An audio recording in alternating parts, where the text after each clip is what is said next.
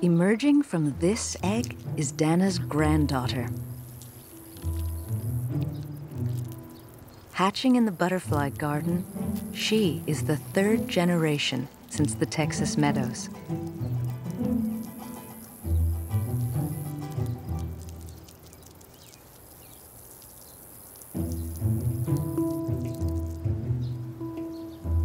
Each of these monarchs is part of a super generation destined for a spectacular journey.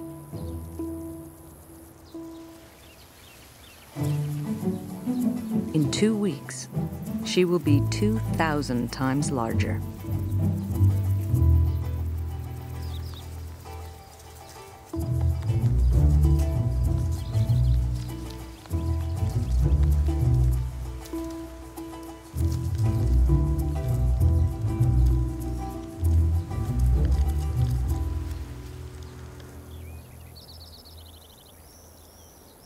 Dana's granddaughter finds a safe place for her next stage.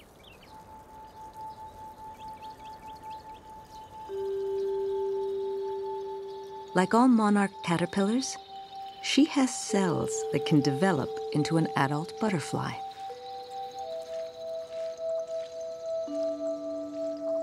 In the next 15 hours, her final caterpillar skin splits, and beneath, a new skin hardens into a chrysalis.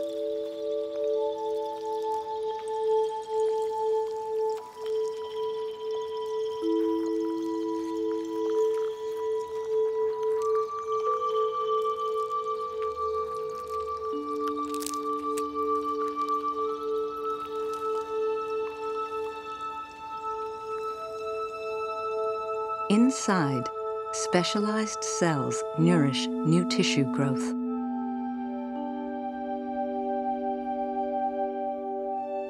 Fed oxygen by hundreds of fine breathing tubes, her brain, heart, and digestive tract change shape and size. New powerful flight muscles develop and compound eyes form. Long legs and sturdy wings complete the transformation.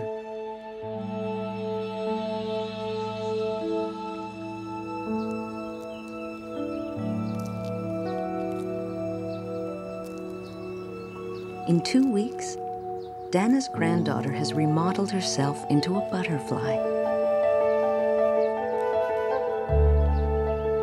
But she will be different. A super butterfly, destined to live eight times longer and fly much farther than her mother and grandmother.